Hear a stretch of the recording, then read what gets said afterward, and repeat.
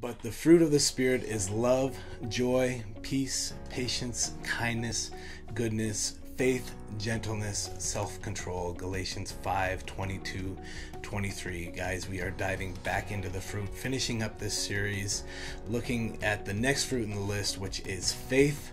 And if we look at the life of Jesus, I believe we see someone with 100% devotion to the Father. Devotion so sincere that it led him to go to the cross. And uh, because of his example, we must cling to our faith. We must uh, be able to ride out the storms of life, whether the highs or lows that we face, always holding on to our faith in the Lord because that's the example that Jesus has modeled for us. I pray that you'll check out this blog and this series over at DerekCharlesJohnson.com.